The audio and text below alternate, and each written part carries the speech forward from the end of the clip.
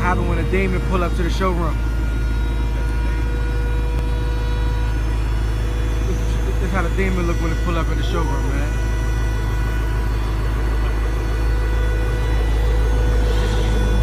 Y'all ain't seen this in person yet.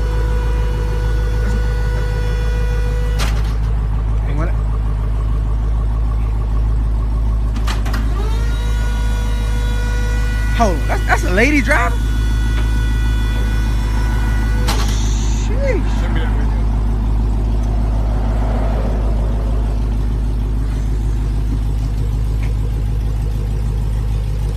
can't.